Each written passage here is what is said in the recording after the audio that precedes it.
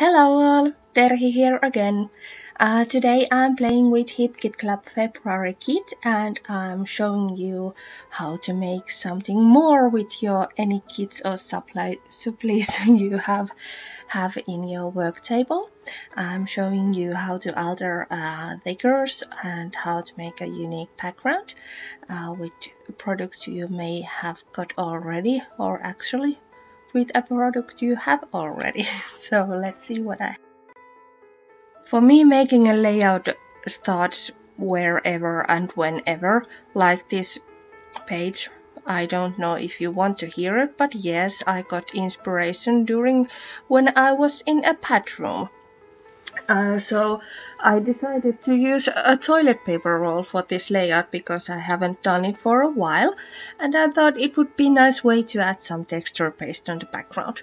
So first layer of texture paste is uh, white and with these little dots and then ta -ta -ta I'm using a uh, toilet paper roll with the Shimmer's texture paste we had in February color kits.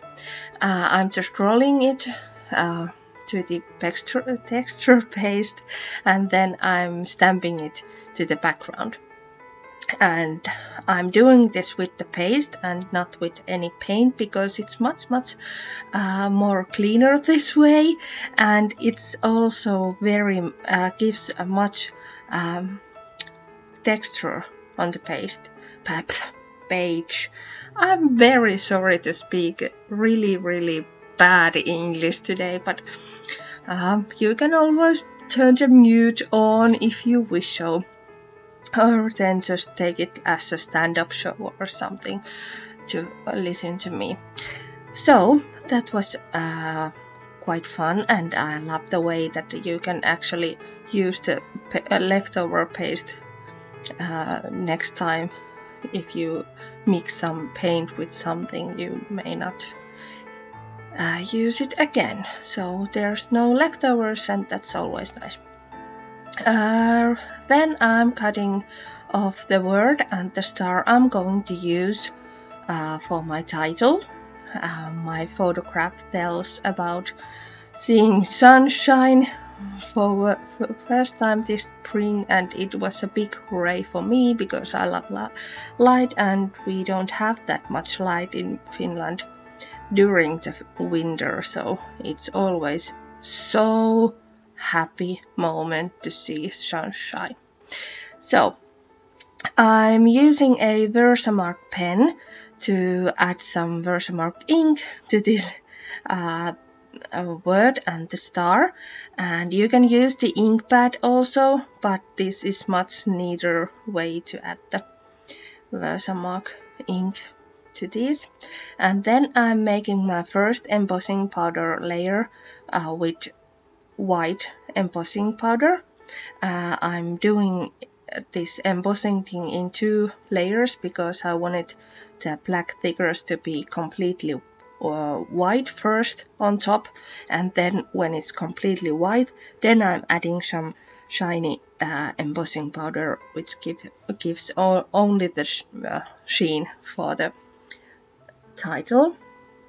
Uh, you can also use some white embossing powder which has already the sheen in it but I wanted to do it this way because uh, the outcome is a bit different this way than with the only one layer of the embossing powder but that's if you like though. Uh, then, as you see now, the uh, yellow circles looks like a little... Mm, well, they don't look like they supposed to be there.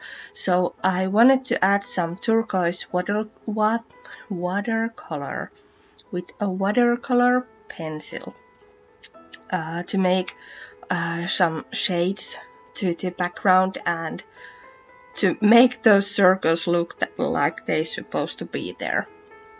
Uh, this is just a simple little trick, but it always works and it's, it's really fun to add some little details with your pencil to the layout when it's almost completed. Uh, the last phase is to add some some mist drops or ink drops and today I'm using uh, this new uh, green uh, splash ink from 13 Arts and I think it's quite nice to have these colors uh, from teal to uh, green and to yellow in it's the same layout. It, it looks very nice. Anyway that was it for today. I hope you are inspired to um, alter your figures. It's always fun and it's quite easy and it's a good way to start your mixed media journey or, something. So thank you for uh, for watching this today and we'll see you soon hopefully with a better voice and better english. So thank you for watching and bye